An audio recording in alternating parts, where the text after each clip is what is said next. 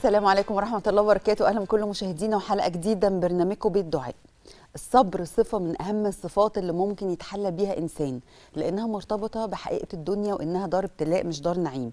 يعني طول ما إحنا عايشين هيواجهنا ابتلاءات فلازم آه نواجهها طبعا بإيه؟ بالصبر. ولكن اللي لفت نظري كلمة مرتبطة دايما بالصبر وهي الصبر الجميل. استغربت ليه جميل؟ هو في صبر مش جميل أو صبر وحش؟ هنشوف حكاية الصبر مع ضيفنا الشيخ أحمد المالكي من علماء الأزهر الشريف. أهلا بيك يا شيخ. الله يخليك يا رب ويحفظك ويكرمك ويسترك ويرزقنا وإياكم الصبر يا رب. والفردوس الأعلى من الجنة يا رب العالمين. آه، آه، آمين يا رب. كانت ماما عبلة آه، الله يرحمها الله يرحمها كانت دايما إيه تعلمني دعوة كده إن يا رب ما تحوجنا للصبر.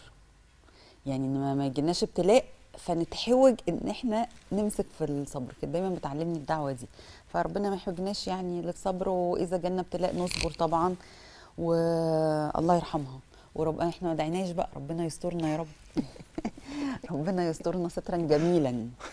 ويسترنا فوق الأرض وتحت الأرض ويوم العرض ويرزقنا من حيث لا نعلم ولا نحتسب. الستر والصحة يا رب والرزق الحلال والفردوس. الأعلى ورضاك والجنة يا رب. ربنا يهدي ولادنا وينجيهم وينجحهم يا رب. اللهم صل وسلم على سيدنا محمد. شوفي بقى. مم. هعترض معاكي ممكن نعترض مع بعض؟ آه أنت قول براحتك. وانت عارف إن أنا في دماغي اللي في دماغي؟ في دماغي. يا شيخ أحمد. لا طبعا إزاي إحنا نتعلم؟ يعني اولا أحمد آه، اتفضل. الله يحفظك يا رب. اولا خلينا نعترف كده أن الدنيا هي دار ابتلاء. طبعا. صح كده ولا إيه؟ وأنا عندي الصبر لابد من الصبر وده أمر من ربنا سبحانه وتعالى للعبد. ركزي معايا بقى. آه. عشان ده كلام مهم جدا اللي أنا هقوله ده مش هيطلع لأي حد تاني. قول يا شيخ. فالصبر ده لابد من إحنا في دار ابتلاء ولا مش في دار ابتلاء؟ طبعا. وأنت بتصلي فرض عليك الصلاة مش فرض عليك الصلاة؟ طبعا. وفرض عليك الصبر على الصلاة. يبقى صبر على طاعة الله وصبر عن معصية الله عز وجل. اللي انت تصبر فلا تعصي. خلاص؟ وتصبر على طاعة الله فتطيع أمر الله عز وجل. وصبر على الابتلاء. يبقى الإنسان مش هيخرج من حالة من الثلاثه دول. هاتيلي حالة كده الإنسان ممكن يخرج منها. صبر على المعصية. بيعمل معصية يا بيعمل طاعة يا إما الإنسان ده مبتلى. وفي كل الأحوال الثلاثه دي الإنسان لابد أن إيه؟ لابد أن يصبر. يعني و- الصبر درجات يعني أو أنواع صح؟ هو درجات فعلا. مم. يعني أئمتنا رضي الله عنهم زي سيدنا آه، شيخ الإسلام الإمام الهروي عليه رحمة الله آه، قسم ال- الصبر ده درجات. وفعلا كلامك صح. بس أنا بتكلم على قضية إن إحنا محتاجين للصبر. أيوه إحنا محتاجين للصبر. والإنسان لا ينفك ابدا. أيوه لا ينفك ابدا. لابد من الصبر. حتى الأنبياء يعني سيدنا يعقوب قال إيه؟ فصبر جميل. بعد ما ضاع مين؟ ابنه فلذت كبده اللي هو سيدنا مين؟ سيدنا يوسف عليه وعلى نبينا وعلى الأنبياء جميعا آه، صلوات الله وسلامه عليه. فشوفي لما يكون سيدنا يعقوب يقول فصبر جميل. ويتأسى نبينا عليه الصلاة والسلام بنبي الله يعقوب. والله عز وجل يقول للنبي في أحلك الأوقات في أشد الأوقات يقول لسيدنا النبي وهو رسول الله المؤيد بالوحي أفضل الخلق سيدنا النبي بل أفضل من الملائكة رسول الله عليه الصلاة والسلام. سيدنا النبي أفضل من البشر ومن الإنس والجان بل ومن الملائكة. سيدنا النبي بل أفضل من ال- ال- ال- ال- الحفظة اللي هو مين؟ رسول الله عليه الصلاة والسلام. ومع ذلك سيدنا النبي في أشد الأوقات ربنا يقول له فاصبر صبرا جميلا. يقول له فاصبر صبرا جميلا. يؤذى صلى الله عليه وسلم يقول له فاصبر صبرا جميلا. يخرج من مكة ويقول له فاصبر صبرا جميلا. يعاني النبي صلى الله عليه وسلم في شعب أبي طالب ويقول له فاصبر صبرا جميلا. النبي عليه الصلاة والسلام يبدأ يواجه الأزمات ويقول له فاصبر صبرا جميلا. وعلى فكرة الأمر ده للنبي صلى الله عليه وسلم وهو أمر للأمة كلها بعد رسول الله عليه الصلاة والسلام. يا أمة اصبروا صبرا جميلا. اصبروا على الأزمات فاصبروا صبرا جميلا. وإنت في الحياة بتواجهك الصعاب فاصبر صبرا جميلا. على الألم فاصبر صبرا جميلا. وإحنا دايما رافعين شعار إياكم أن تمضوا في طريق اليأس فلا تمضوا في طريق اليأس فإن في الكون آمال ولا تتجهوا نحو الظلمات فإن في الأكوان شموس. فاصبر صبرا جميلا. الصبر الجميل وعندي سبحان الله لما أجي أنظر إلى القرآن الكريم هنلاقي كلمة الجميل جت مع الصبر. فاصبر صبرا جميلا. جت مع الهجر واهجرهم هجرا جميلا. جت حتى مع الصفح. فاصفح الصفحه الايه الجميل. إيه ده؟ يعني إيه واهجرهم هجرا جميلا خلاص يا أخي أنت بعدت عنه وملكش علاقة بيه إياك أن تؤذي هذا الإنسان. ما تقعدش تتكلم عليه. ما تبقاش بقى تغتابه. هو ده الهجر الجميل. اللي أنت هجر بلا أذى. بعد إذنك هجرته اسكت. بعد إذنك ما بدك خلاص ما لا, لا تسبه. بعد إذنك ما فيش غيبة. بعد إذنك ما فيش نميمة. اللي هو إيه؟ ده الهجر الجميل. طيب والله فاصفح الصفح ال- الجميل. اللي هو إيه الصفح الجميل ده؟ اللي أنت يا أخي يقول لك والله أنا حصل خصام ما بيني وما بينك وبعدين آه طب اصفح عنه. عفوت عنه خلاص. يجي بعد تاني يوم يقول له فاكر؟ فاكر إيه ما خلاص. يعني الصفح بلا عتاب. ما ينفعش اللي أنت تتكلم وتبدأ تعاتب آه ال- الإنسان ده مرة تانية. خلاص أنت عفوت لله. وادام عفوت لله ما تقعدش تتذكر. ولذلك سبحان الله ربنا يقول والكاظمين الغيظ درجة حلوة قوي ودرجة كبيرة جدا. بس في النهاية الدرجة الأعلى اللي هو إيه؟ ما هو كظم غيظه بس لسه هو جواه آه، عاوز أطلع غيظي. هو لما أقعد معاه ما أنا هعاتبه. فربنا يروح قايل والكاظمين الغيظ وبعدين يقول إيه؟ ولا عافين عن الناس العفو ده اللي هو إزالة الأمر ب- بالكلية.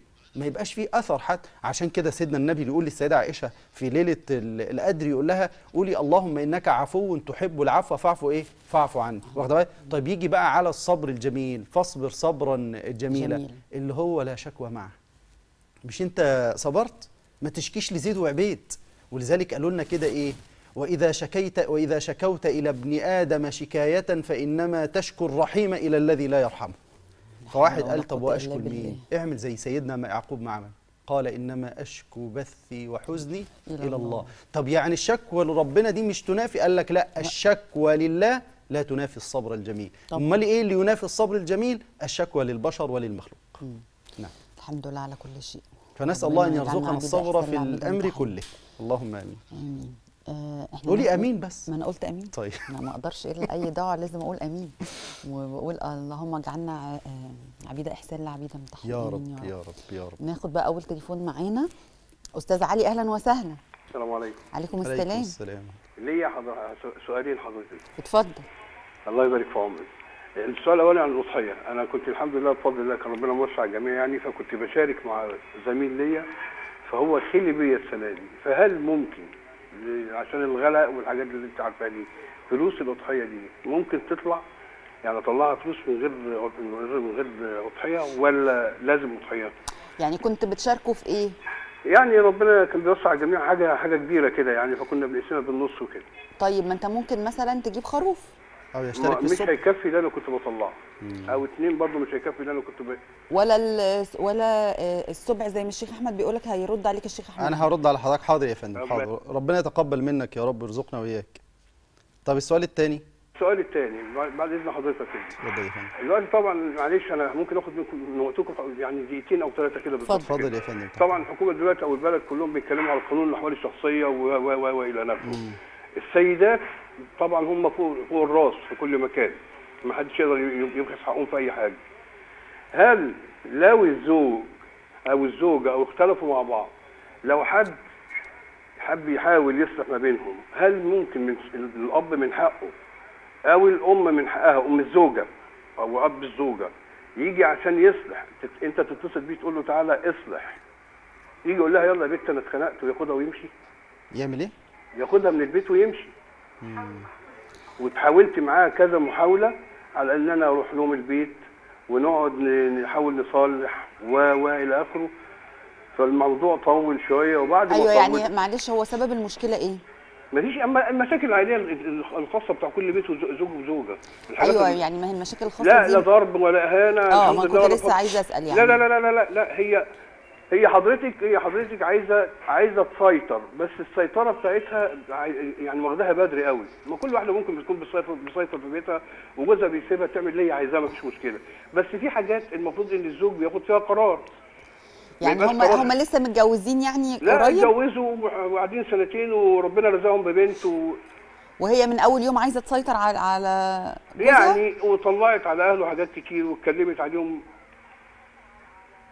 فباباها بدل ما يحل أخدها ومشي. الله ينور على حضرتك خدها ومشي. حاولنا نصلح ما بينهم أو نصلح ونجيبهم ونروح لهم ونيجي.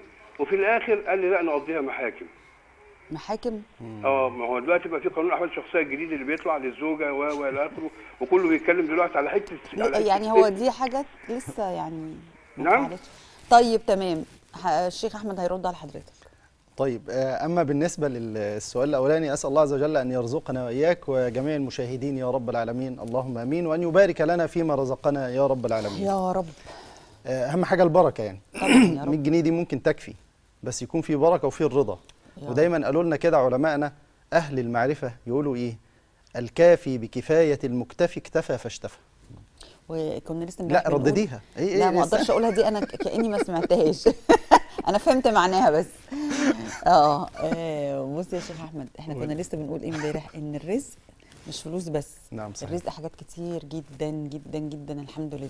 الناس الضحكه ما رزق. تبصش بس إيه على ال- البسمة رزق. ورقة الفلوس. حب لا، الناس رزق. حاجات كتير سبحان قوي. الله. الرضا نفسه بالحال ده رزق. كل لا حاجات كتير آه، قوي صحيح، قوي قوي. صحيح. الحمد لله. طيب على أي حال. فأنا الأصل يا جماعة عندما أفرق الأضحية دي شعيرة ولا مش شعيرة؟ لا دي شعيرة. وأما الصدقة فهي صدقة تطوع. الأضحية بتاخد حاجتين اتنين من العبادات. إراقة الدماء وهذا مقصود خلاص في الشرع الإسلامي. الأمر الثاني قضية اللي أنا بوزع في هذه صدقة. المال صدقة بس. المال صدقة بس. فأنا عندي الأضحية جمعت بين أكتر من كم من عبادة؟ كام؟ عبادتين على الأقل. طب والصدقة المالية دي قد إيه؟ واحدة. واحدة بس. طيب أنا كنت بجيب نص ودلوقتي الحاجة غالية جدا فأنا محتاج أعمل إيه؟ فأقول لك اشترك في الصبح اشترك في الصبح. والباقي طلع فلوس للناس ممكن تجيب لحمة وبتاع يبقى أنت عملت ال- الأضحية الشعيرة. والحاجة التانية اللي هو إيه؟ اللي أنت تطلع الصدقه طب الأضحية واجبة عليا؟ لا مش واجبة عليك. الأضحية في النهاية إيه؟ سنة عن النبي عليه الصلاة السؤال والسلام الثاني بقى. السؤال الثاني آه القرآن حكم ده ما قالش الأب والأم. عارفة قال إيه؟ فابعثوا حكما من أهله وحكم من أهلها إن يريد إصلاحا يوفق الله بينهم. وإحنا كنا بنعرف الحكمة دايما نقول الحكمة الراجل الحكيم بقى اللي هو هيطبق الحكمة. فعل ما ينبغي في الوقت الذي ينبغي على الوجه الذي ينبغي. تمام. نعم. ربنا يهدي يعني. ويحاولوا طبعا إن هم يصلحوهم ده الأساس أكيد. نعم. آه صابرين أهلا وسهلا. ازيك يا أستاذ دعاء؟ ازيك يا حبيبتي عاملة إيه؟ الحمد لله. والله العظيم أنا بحبك خالص متابعاك من. زمان. حبيبتي أهلا وسهلا. الله يخليك. أنا معلش متوترة أنا أول مرة أتكلم مع حضرتك ومع أي برنامج في التلفزيون. لا يا حبيبتي نورتينا اتفضلي. الله يخليك. آه بالنسبة لموضوع الصبر أنا جاي في محله. آه أنا متجوزة من آه، 17 سنه وجوزي آه، محبوس ليه ثلاث سنين ونص. فمنتظرة وكمان قاعدة ما بطلعش وما بدخلش وأهله متحكمين. ف وعندي هو قرب يطلع. فعندي إحساس إن لما يطلع يغدر بيا أو إني أتأذي. وما عنديش أهل طبعا يحموني. فمش عارفة متوتر عندي إحساس كده غريب. يعني أنت أنا مش فاهمة إحساسك. يعني أنت دلوقتي متجوزة وحاسة آه، بعدم الأمان مع جوزك يعني؟ أيوه. بعد هو. ما يطلع ان يغدر بيا ولا يطلع حاجة فين؟ إني- هو مسجون. بتقول مسجون مسجون. آه ما سمعتكيش. آه. ليه هيعمل كده؟ مش عارفة. هو أنت مش ان في مشاكل بين الأهالي وكده إن حد يطلع. شوفي يا أختي الكريمة شوفي يا أختي الكريمة. يعني بس أيوة. الموضوع ما تخليش الشيطان يسيطر عليكي. المرأة الصالحة هي اللي دايما تقدم الخير دائما وابدا. أنت الصبرة فأنت الحمد لله صابرة. طيب أنا ينفع أجل الإحساس ده إلى أن يكون واقعا حقيقيا لغاية لما يبقى فعلا هو يظلمني فهقول ده ظلمني؟ آه ينفع. طب هو الراجل دلوقتي محبوس هو في قيد الآن فربنا يخرجه بالسلامة إن شاء الله لعل وعسى يقول والله زوجتي دي الصبره زوجتي دي اللي احتملت زوجتي دي اللي صانتني زوجتي دي اللي آه، صانت العشرة فأنا أحطها فوق راسي مش ممكن يحصل ده؟ طيب ده أنا حاسة لا اجلي الإحساس ده ده شيطان بي- بيتدخل في المسألة دي ويوسوس في النفس. إذا حدث أنت بقى من حقك اللي أنت تعترضي أو تطلبي الطلاق أو تقولي يا جماعة تعالوا صالحونا أو عاوزه حقي من ده ده حقك ساعتها لكن ما لكن دلوقتي, دلوقتي. ما تخافيش من دلوقتي لأن الوسوسه هتزيد والشيطان هيتحكم فيكي وهتبقي متوترة ومضطربة دائما وابدا صح بس كده. نعم بشكرك يا شيخ أحمد في نهاية الفقرة ربنا الله يحفظك يا. رب، جزاك الله خير. ومشاهدينا خليكم معانا بعد الفاصل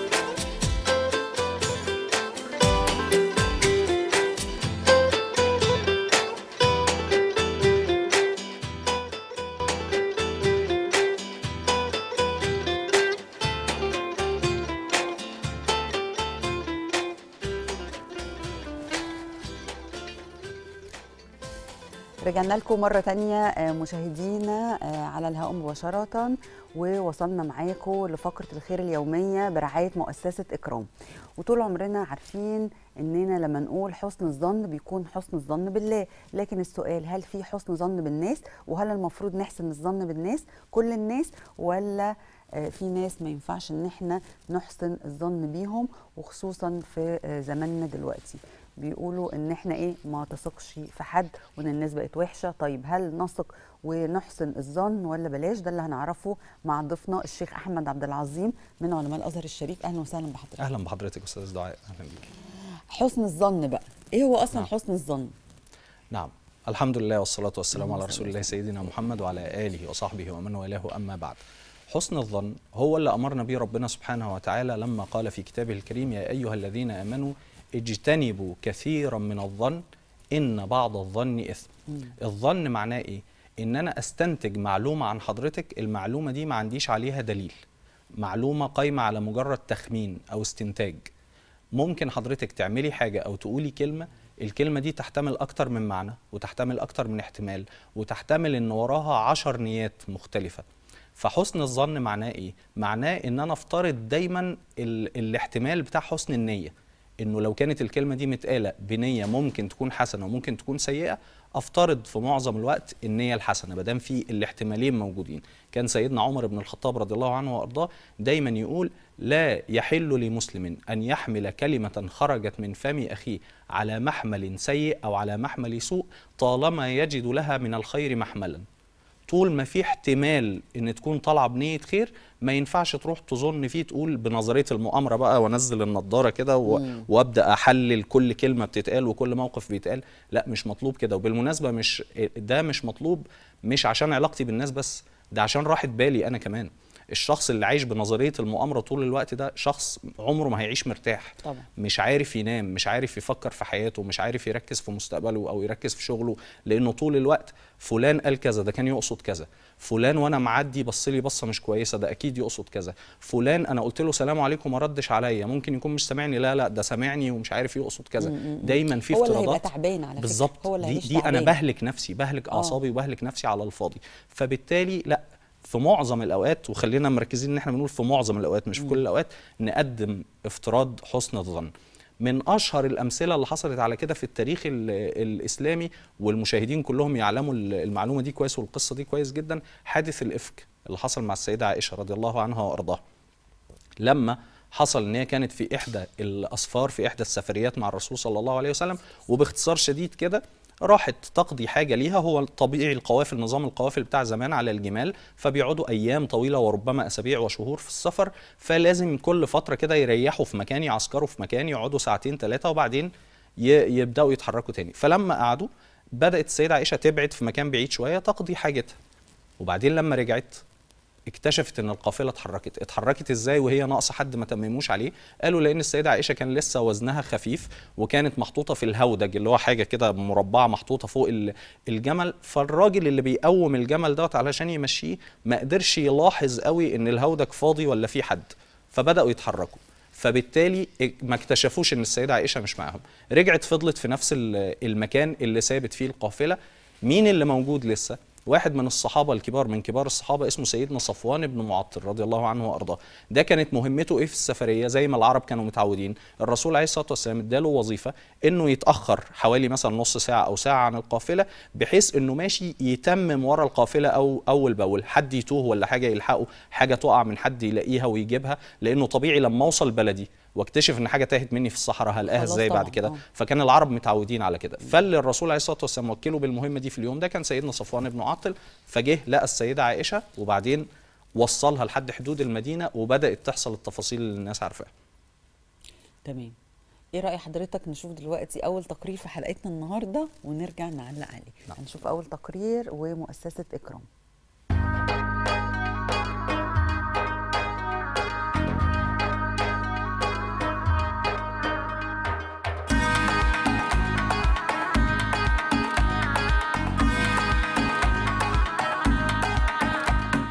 مؤسسة إكرام مؤسسة متنوعة في الأنشطة. هتلاقي عندها توصيل وصلات المية هتلاقي عندها حفر آبار ارتوازية وحفر آبار لتجميع مياه الأمطار في مطروح. هتلاقي عندها رعاية الأيتام ورعاية الأرامل والمساكين. هتلاقي عندها إطعام هتلاقي كل أنواع للصدقات. ولكن جاء حالة من الإبداع كده قلنا طب ليه ما يكونش فيه نوع من الصدقة كمان يخدم على كل ده. يكون هو الثمرة اللي بتثمر لكل الأنواع دي فكانت الفكرة في صك النخيل.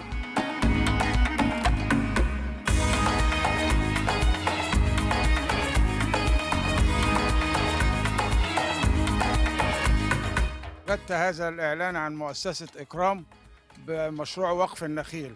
وأنا كنت بتمنى من زمان أن أنا عاوز أعمل صدقة لوالدي رحمه الله ووالدتي ثم زوجتي التي توفت من حوالي عام ونصف. الحمد لله اللي إحنا حضرنا ال- ال- وقف النخيل لأن بصراحة حاجة جميلة جدا. وأنا جايب النبع عن أختي فتحية عبد العال لانها مش قادرة تيجي.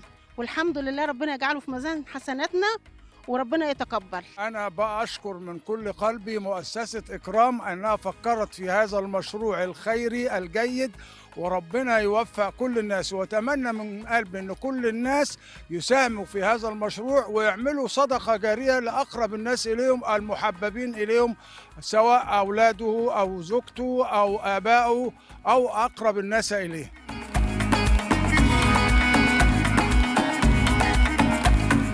إنك تزرع نخلة فالنخلة دي تثمر. فيكون من ثمارها إن إن ممكن تطعم الطعام ممكن توصل وصلة مية ممكن تحفر بير ممكن آه ترعى أيتام وترعى مساكين. فكانت دي الفكرة المثلى في الصدقة وهي دي فكرة الوقف. إنك توقف الأصل والأصل ده هو اللي ينفق على الناس وينفق على الفقراء وعلى المساكين. وعلى الأيتام.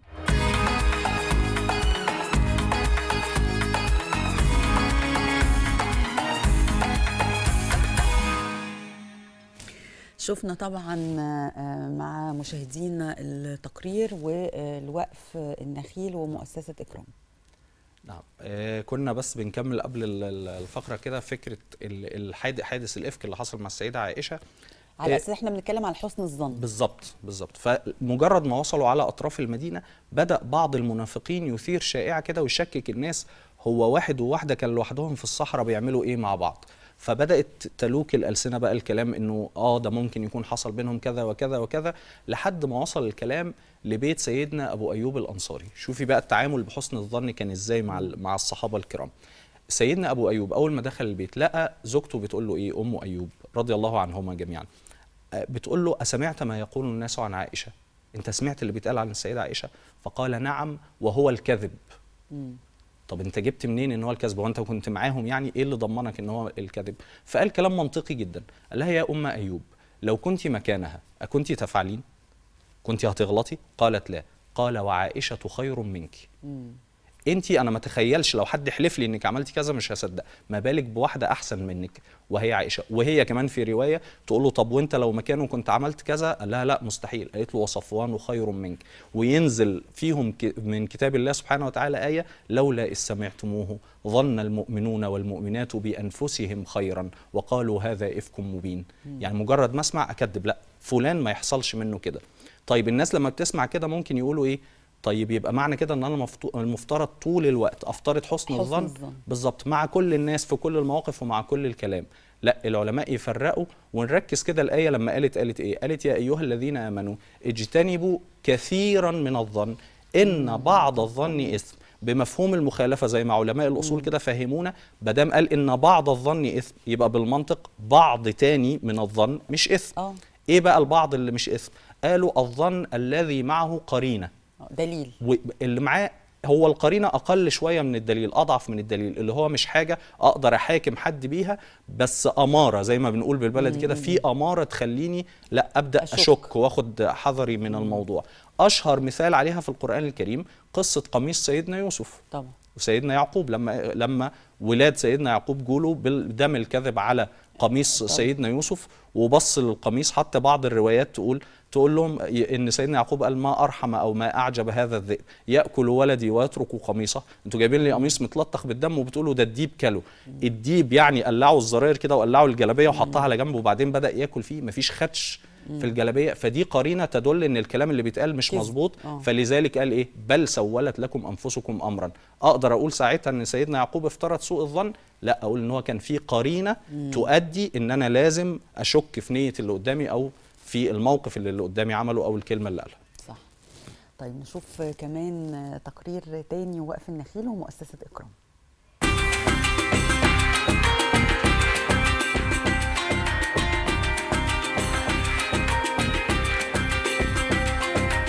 عملنا صدقة حلوة وحاجة جميلة ودينا اتمتعنا وحاجة جميلة قوي.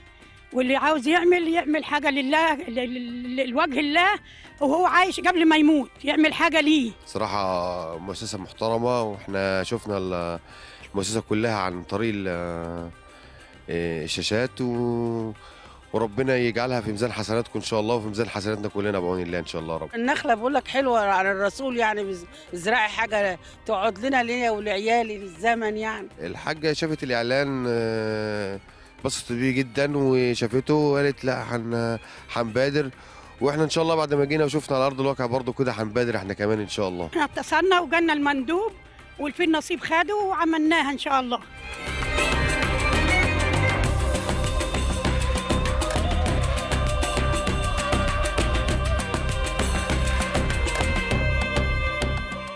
بالخير سابقين بالخير سابقين لأن السابق هو اللي قال عنه ربنا سبحانه وتعالى السابقون السابقون. السابقون دول حابين إن إحنا نبقى منهم حابين نزاحمهم كتف بكتف على باب الجنة يوم القيامة أمام ربنا سبحانه وتعالى. بالخير اللي بنعمله بالخير اللي بنسبق ليه ونسبق ليه غيرنا. الخير اللي إحنا بنكون أول ناس بتدق على بابه قبل غيرنا فناخد ثواب الخير اللي بنعمله ومعاه ناخد ثواب دلالة خير غيرنا على الخير.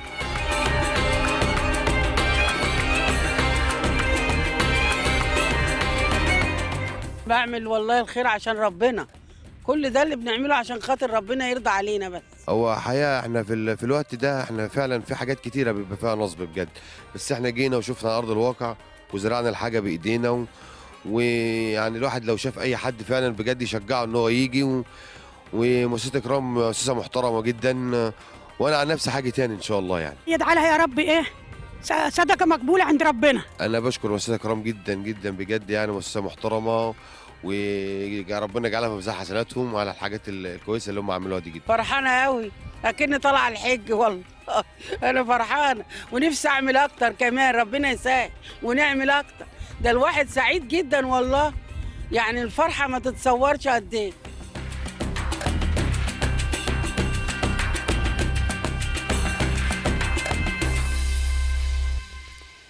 يعني آه، شفنا فرحة الناس وفعلا الواحد لما بيطلع الصدقة دايما بنقول ممكن بيفرح أكتر من اللي أخد كمان. صحيح لأنه إحنا إحنا دايما بنتكلم على الطرفين بتوع الصدقة اللي هو المتبرع والمستفيد.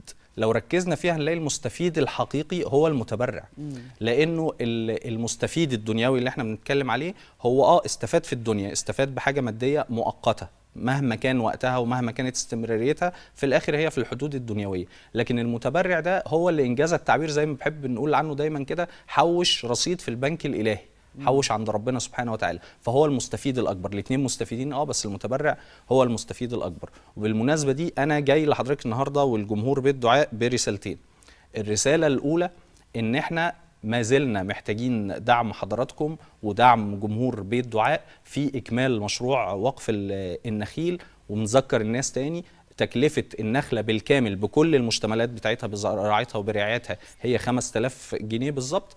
الرسالة الثانية إن إحنا بنشكر حضرتك وبنشكر البرنامج وبنشكر جمهور البرنامج. إنه ما شاء الله ردود الأفعال والتبرعات والإقبال عليها كان أكبر من توقعاتنا. ما زال الناس فيها الخير. ما زال جمهور بيت دعاء وغير جمهور بيت دعاء. الناس فيها الخير. بمناسبة إن إحنا كنا بنتكلم عن حسن الظن بالناس كان سيدنا النبي صلى الله عليه وسلم دايما يقول من قال هلك الناس فهو أهلكهم. اللي يقول خلاص ما فيش فايدة والناس الدنيا خربت والناس ما بقاش فيها خير يبقى هو أوحش من اللي هو بيتكلم عليهم لا دايما في خير وجمهور البرنامج أثبت لنا عمليا إن إحنا أمة ما زال فيها الخير فيها وفي أمة سيدنا النبي صلى الله عليه وسلم إلى يوم القيامة الحمد لله وربنا يبارك في كل اللي بيطلع فلوسه لله وربنا آمين. يقدرهم ويقدركم دايما على عمل. الخير وبشكر حضرتك في نهاية شكراً. لحضرتك.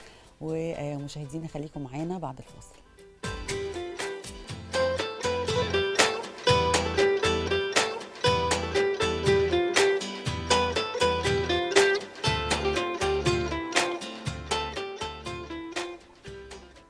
وصلنا معكم مشاهدينا لفقرتنا الطبية وضيفنا أستاذ دكتور حازم ياسين أستاذ طب وجراحة العيون بالقصر العيني جامعة القاهرة وهنتكلم عن موضوعات كتير بتشغل بالنا عن أغلى حاجة نملكها في جسمنا وهي العين.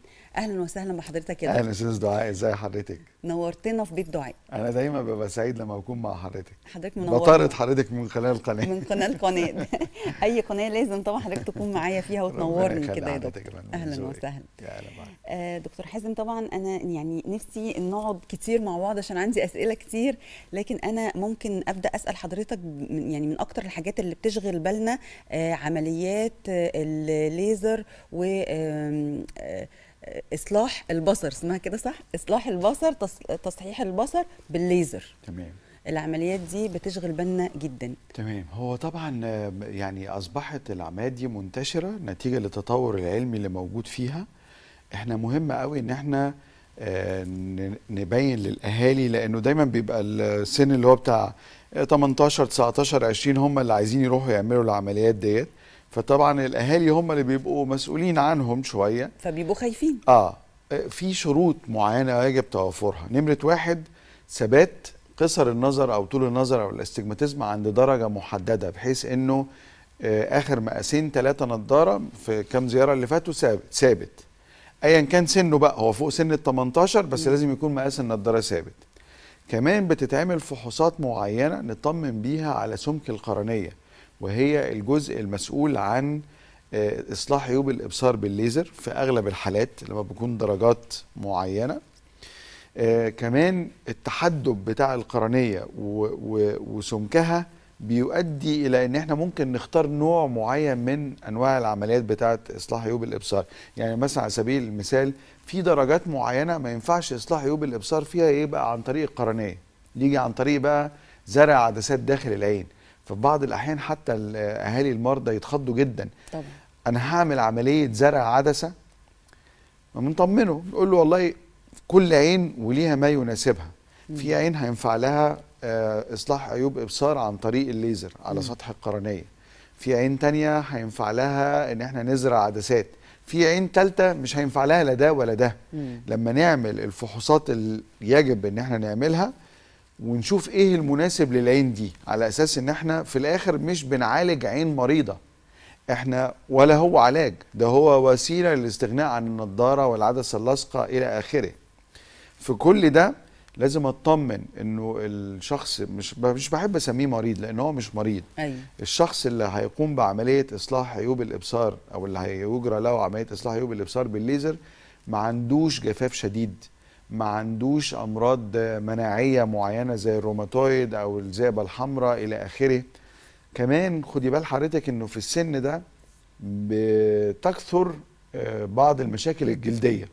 اللي هي في الأساس آه، حب الشباب منتشر قوي في السن ده. آه، الناس اللي رايحين يعملوا العملية دي في آه، منتجات معينة أو أدوية طبية بتوصف للناس اللي عندهم حب الشباب في هذه المرحلة السنية تتعارض شكلا وموضوعا مع إجراء عملية الليزر أو الليسك في الوقت ده. المعلومة دي أنا يعني بقولها ال- ال- الدواء ده هو معروف اللي هو بتاع الحبوب حبوب الشباب. بينشف آه الجسم كمان بينشف ميه العين. آه دي معلومة مهمة جدا. أنا ليه بقولها؟ لأنه اكتشفت إن جزء كبير من ال ال بعض الدكاترة المبتدئين لسه الصغيرين في السن ما عندوش المعلومة دي. مم. فما بيسألش المريض عليها. ودي مهمة. والمريض معتبر إنه طب إيه دخل الجلد بالعين؟ بالظبط. فالنهاردة من برنامج بتاع حضرتك لأنه ليه جمهور مشاهدين كبير لازم المريض أو الشخص اللي جاي يعمل عملية الليزر يقول للطبيب بتاعه على فكرة أنا بستخدم دواء الجلدية. أيوه. والأطباء الصغيرين اللي داخلين يعملوا العملية بتاعة الليزر اللي فيهم ما يعرفش لا يسأل المريض لو ما قالوش. هو أنت بتستخدم أدوية للجلدية ولا لا؟ هل في عندك أي أمراض مناعية ممكن تؤدي إلى حدوث ش- جفاف شديد؟ لأنه من ضمن الأشياء اللي إحنا بنعتبرها الآثار الجانبية بتاع عملية الليسك بالذات أو الليزر السطحي حدوث جفاف لفترة تتراوح من صغيرة أو قصيرة لطويلة عند بعض الأشخاص. فإذا هنا لازم نتكلم مع المريض بتاعنا في القصة دي. تمام؟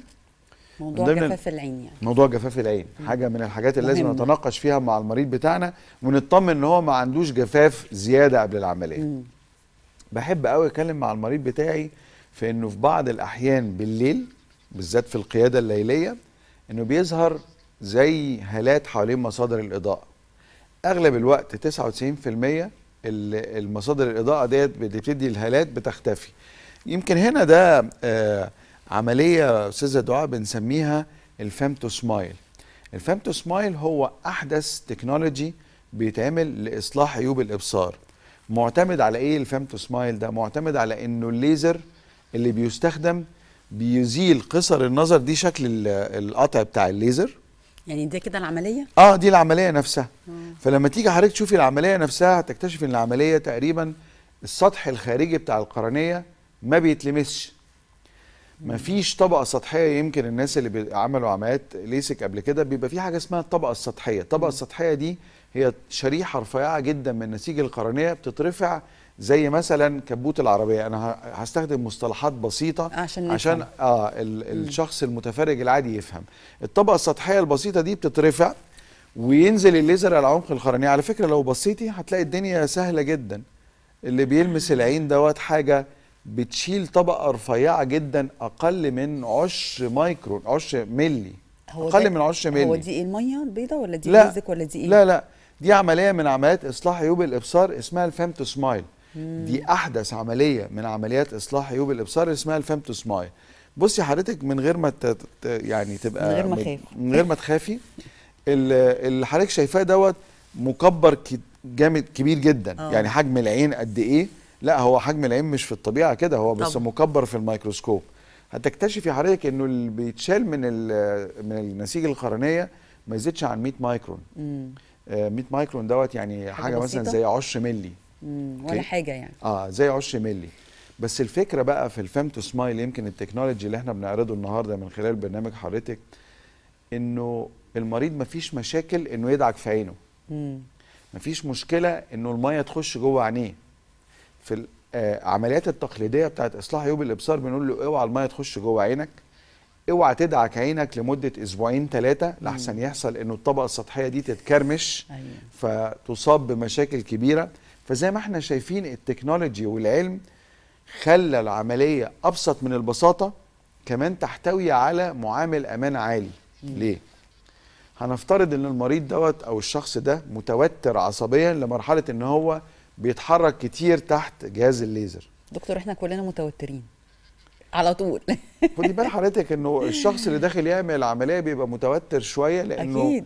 خايف من الألم العملية من غير ومفيش ألم بنج يعني طبعا في مخدر سطحي بس قصدي سطحي أنا قصدي مش مش, مش كلي. كامل آه مش كلي آه مفيش ألم. خالص مم. مفيش أي نوع من أنواع المعاناة الموضوع كله بياخد له حوالي 25 ل 35 ثانية مم.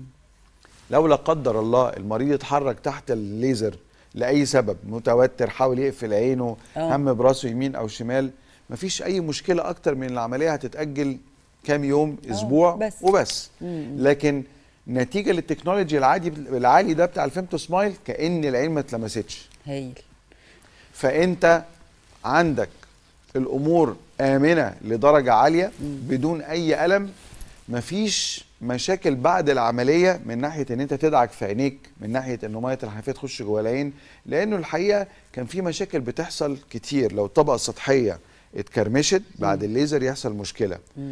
المية بتاعت الحنفية نتيجة لأنها ممكن يكون فيها بعض الفطريات. الفطريات دي لو دخلت على مكان العملية كان ممكن مم. يحصل تلوثات أو كلام زي كده. فال technology دوت يمكن أنا بقوله من خلال كبير يعني. آه جدا الحقيقة. ال Femto SMILE أعتقد إنه قفز بالعملية قفزات يعني آه تاريخية الحقيقة. طب دكتور برضو موضوع مهم جدا بيشغل بال ناس كتير مشكلة المية البيضاء في العين. برضو بقى فيها تطور كده في في العمليات؟ آه، الحقيقة المية البيضاء آه، يعني من الحاجات ال- يعني يمكن لما اتعمل مثلا زي إحصائيات اتلقى انه الميه البيضاء آه، هي ديت ال- العملية بتاعت الميه البيضاء. كل ال- هي إيه بقى فكرة الميه البيضاء؟ بيجي الميه البيضاء هي العدسة بتاعت العين مم. مكونة من ألياف بروتينية شفافة. تمام. فبتخلي الضوء ينفذ إلى داخل العين بس النتيجة لأنها عدسة. فالعدسة دي بتعمل على تركيز الضوء على الشبكية بصورة آه، واضحة. تمام. إذا حصل تعتم في هذه الألياف البروتينية أصبح الضوء غير قادر على النفاذ. آه. وبالتالي تصبح الصورة مغيمة. يقول لك مش قادر أشوف كويس. زمان كنا بنقول للمريض بتاعنا استنى على المية البيضاء لما تستوي. كويس كده؟ آه، لانها كانت بتتشال بالجراحه بدل الفتحات الصغيرة اللي حضرتك شايفاها دي وكلها فتحات ذاتية الغلق لا نلاقي إنه العيان دوت نستنى عليه لغاية أما يبقى مش شايف إيده وبعدين نعمل العملية بالجراحة فنفتح فتحات كبيرة مم. وبعدين نطلع المية البيضاء بره وناخد غرز في العين ونخليه مستلقي على ظهره ونقفل العين بشاش وكلام زي كده لما الدنيا اتغيرت زي ما حضرتك شايفة في الفيديو اللي إحنا بنعرضه دوت بقينا بنقول للمريض بتاعنا العكس كل ما تعمل المية البيضاء بدري كل ما يبقى أحسن مم.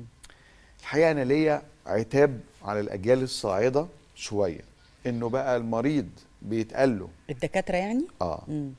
المريض بقى يتقال له أنت عندك مية بيضاء لازم تخش تشيلها بكرة الصبح مم.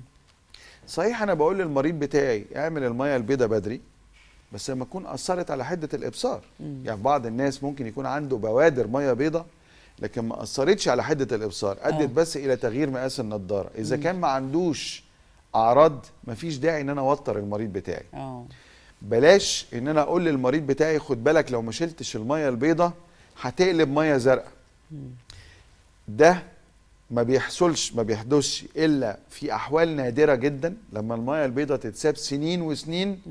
وفي أنواع نادرة من المية البيضاء يعني مش أيوة. كل مية بيضاء هتتساب فترة طويلة هتقلب بمية زرقاء. فما فيش داعي إن إحنا نقنن هذه المعلومة ونقولها لكل مريض ابتدى يبقى عنده بوادر مية بيضاء آه نقول للمريض بتاعنا عندك بوادر ميه بيضاء إذا مأثرة على حدة الإبصار بتاعتك نعمل الميه البيضاء إذا مش مأثرة يبقى تعالى لنا كل ست أشهر عشان نشوف الأخبار عاملة إزاي. أنا ده يعني رسالة كمان بوجهها لينا إحنا شخصيا. للأطباء. لينا إحنا شخصيا. يعني بنتقد نفسي في بعض الأحيان لما أقول للمريض بتاعي أنت عندك ميه بيضاء؟ دي العدسات المتعددة البؤرة. آه، العدسات المتعددة. البؤرة ديت لو حضرتك شايفة إن في زي دواير موجودة جوه ال- ال- العدسة بحيث إن كل دايرة من دول تدي لك مسافة محددة. آه. وبالتالي المريض اللي عنده عملية الميه البيضاء يزرع العدسات المتعددة البؤره فيستغنى عن النضارة. آه. يعني دي عدسات بتتزرع. دي العدسات اللي بتتزرع مكان الميه البيضاء اللي اتشالت. دكتور دلوقتي آه، الواحد كل ما بيكبر في السن مش بيشوف من قريب. تمام. كده أنا مش شايفة كويس. تمام. لازم أبعد شوية. تمام. أو ألبس إيه في الق- في القراية؟ نضاره قراية. تمام. مفيش بقى أي حاجات سريعة ليزك سريع. آه يصلح هو آه، خلينا نقول إنه برضو عشان نطمن جمهور الناس إنه اللي بيحدث بعد سن الأربعين إنه العدسة البلوريه اللي هي جاها فيها الميه البيضاء دي بتفقد المرونة بتاعتها. مم. فبتبقى غير قادرة على آه، عمل ما يطلق عليه ال auto focus يعني إيه ال auto focus إنه بيحصل تكيف على حسب مسافة الشيء من عينيا. القرب أو البعد. بالظبط كده. فالعدسه نفسها بتغير حجمها على حسب عايز تعمل focus على إيه. آه. بعد سن ال 40 ال focus دوت بيضعف. مم. وبالتالي يبتدي الشخص يصاب بطول نظر فسيولوجي يعني إيه فسيولوجي يعني ما فيهوش أي نوع من أنواع الأمراض. كل الناس اللي بعد سن ال 40 هيحصل لهم ده. بس بدرجات متفاوتة. تمام كده؟ فابتدى يتقال إنه خلاص من زمان إحنا عارفين إنه في حاجة يطلق عليها نظارات القراءة ما بعد سن ال 40 الحقيقة نتيجة لإنه اجتماعيا بتكشف سنك فبعض الناس مش بيبقى بي- بالنسبة له بيبقى علامة من علامات العجز أو الشيخوخه أو آه، كده لبست فتبقى بالنسبة له. عبء نفسي أيوه الحاجة الثانية إنه هي زمان كانت بيتقال عليها نظارة القراءة. منذ أن غزا الموبايل والمحمول حياتنا آه، آه. وأصبح هو وسيلة لكل شيء مم. آه، تقرأ رسائل تبص. على الكمبيوتر تقرأ. كتاب اذا آه. أنت أصبحت النهارده عايز تحط النضارة دي على وشك عشان تقدر تشوف الموبايل بتاعك طبعاً. طول الوقت طبعا فابتدى يبقى في حلول جذرية مم. تبتدي بإيه بالعدسات اللاصقه متعددة البؤرة مم. وتنتهي بالعمليات اللي بيبقى فيها زرع عدسات متعددة البؤرة جوه العين يعني ليها عملية ليها عملية دي حاجة كويسة لازم نتكلم فيها بقى بعد كده بالتفصيل. أنا هتكلم معاك فيها بالتفصيل يا دكتور. ان شاء الله بإذن الله. بشكرك جدا يا دكتور ونورتنا أنا وشرفتنا اللي سعدت والله خالص متشكر جدا. شكرا يا دكتور. آه ومشاهدينا أنا بشكركم وهسيبكم مع تقرير ونختم بيه حلقتنا النهارده وشركة بروك للتطوير العقاري بالتعاون مع شركة آه، تروجن نظمت حفلة بمناسبة تدشين مشروعها الثاني سينتو بالعاصمة الإدارية الجديدة بحي المال والاعمال والحفل كان من تنظيم Strike Media تعالوا نشوف التقرير. النهارده بنحتفل آه، بتدشين آه، مشروع سنتو. ده ده تاني مشروع لينا في العاصمة الإدارية الجديدة. السنة اللي فاتت الحمد لله احتفلنا بتدشين Spark Capital Insight على النهر الأخضر وأمام البرج الأيقوني. آه، النهارده بنحتفل بخروج سنتو لسوق المبيعات وبداية العمل فيه. مشروع متميز فيه كل المواصفات اللي تناسب الشركات ال- المالتي ناشونال والشركات المصرية اللي ممكن تفتح في حي مهم زي الحي الحكومي. فالحمد لله مشروع مميز وإن شاء الله انطلاقة جديدة تانية للبروق في مزيد إن شاء الله من الشغل والمشروعات الجديدة اللي هنعملها في العاصمة إن شاء الله القاهره الجديده إحنا شركة آم، بنعمل ال asset management للعقار من day 1 ما بنستناش لغاية لما يتبني ويخلص وبعدين نعمل له facility asset management لا إحنا بنعمل من day 1 يعني إيه day 1 يعني بنبص على ال design بنبص على ال construction بنبص على كل حاجة تفاصيل الأعمدة ال- التشطيبات الداخلية التشطيبات الخارجية ويبقى لنا دور فيها. عشان بعد كده يجوا ال asset يجوا ال asset management اللي هيعملوا facility asset management يبقى كل حاجة فيهم متظبطة.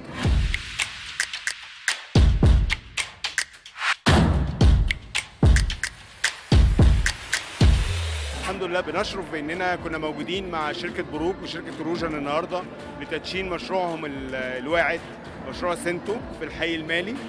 المشروع ده من المشروعات المميزة جدا اللي فيها آه، نقاط آه، مختلفة تماما عن مشروعات كتيرة كتير آه، مشروعات كتيرة موجودة في السوق العقاري حاليا لأنها اولا فيها credibility عالية جدا. المشروع مستخرج الرخص البناء بتاعته وكل التراخيص الخاصة بيه للبيع. دي نقطة مهمة جدا، النقطة الثانية ثقافة الندرة في مشروع زي ده في حي نادر زي الحي المالي. كل ال- ال- العلامات الموجودة في هذا الحي هي علامات لن تتكرر مرة أخرى في الجمهورية الجديدة. event كان فيه حضور كويس جدا آه، من كبار رجال الأعمال وأعضاء آه، مجلس الشعب ما شاء الله. كان النهارده منورنا أسماء كبيرة جدا المهندس يسر المغازي والأستاذ مصطفى بكري والأستاذ محمود بكري ناس كتير جدا النهارده كانت موجودة معانا. والحفلة الحمد لله كان فيها يعني باقه من الفنانين يعني الأستاذ تامر عاشور طبعا وحمادة هلال كانوا عاملين يعني جو لطيف جدا مع الناس وتفاعل حلو يعني.